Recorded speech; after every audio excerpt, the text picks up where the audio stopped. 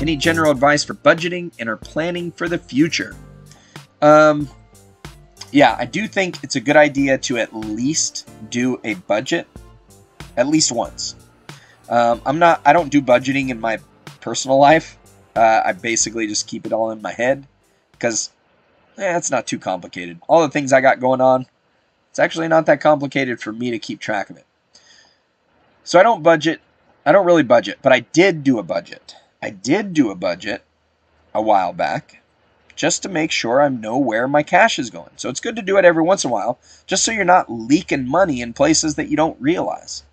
Uh, oftentimes, it's good to, to do it because you these days there's so many different things that we just have our credit cards automatically paying for, and so we might have a subscription here, subscription there, and and we just start piling up these subscriptions we're not really using. So by going through and doing your budget, it's a good time to start eliminating some of that stuff, figuring out what you can cancel. So that's definitely a good way to start, and you can take the information you get from your budget you figure out your extra cash flow. Now you're going to use that to start planning for the future. I would recommend checking out my wealth pyramid. I have a video called, um, might be called the retirement pyramid or the wealth pyramid. I can't remember.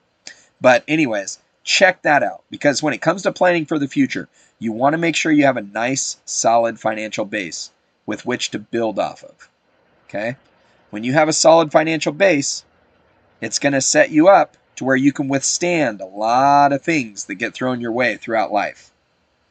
If you don't, uh, our, our, our pyramid consists of a lot of solid financial stuff at the bottom, and then it gets more risky as we go up the pyramid.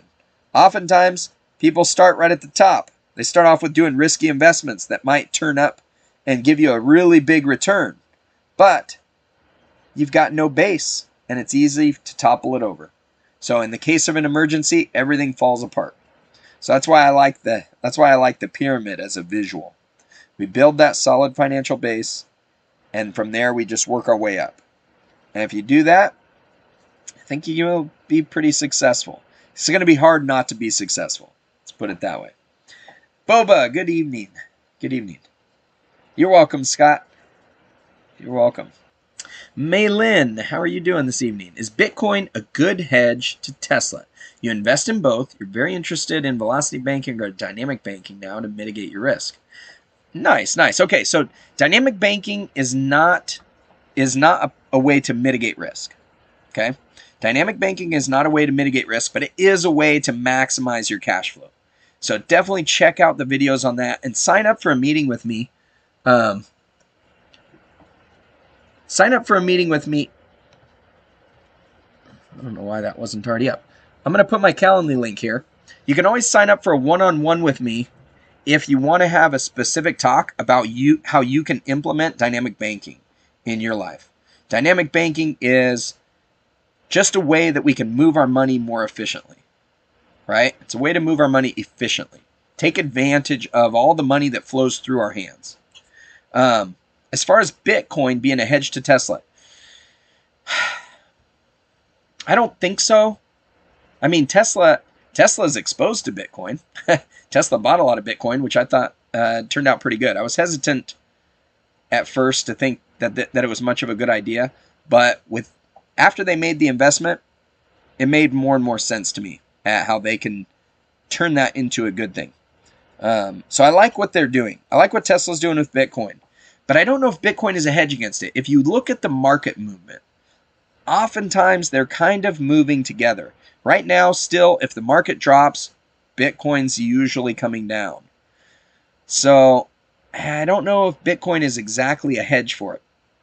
Now, this is just the short term, though. I mean, I'm watching this day to day. When you take a long term view of it, Bitcoin could probably be a hedge. Yeah. And it may even actually be a good investment if it grows the way we're expecting to see it grow. If it keeps, uh, if it gets more and more institutional investors buying in on it, uh, if there becomes more and more uses for it, more platforms that you can trade with it, um, it could end up being it could end up being a decent hedge. Uh, I view Bitcoin as you know like uh, it, it, it functions like gold. It's a good store of assets. It's a good place to store store your money, let's say. So Bitcoin acts as a hedge against inflation, I think. It acts as a hedge against inflation more than as a hedge against Tesla, right? Um, but I do like it. Yeah, I'm uh, being invested in both. That's that's good. I think that's great. Don't have any. I don't have anything against being invested in both of those. I kind of like, like being invested in Tesla is kind of like being invested in a, an ETF. You know, you get exposed to so many different sectors. You got batteries, um, you got vehicles, you got clean energy, solar. Um, what else? Energy. there's all there's all kinds of things that uh, that you get invested in when you're when you're connected with Tesla. So one of my favorite one of my favorite investment opportunities, right? Hope you found value in today's video. If you'd like to find out more about IUL and whole life, check out these videos right over here, and we'll see you next time. Now go maximize your cash flow.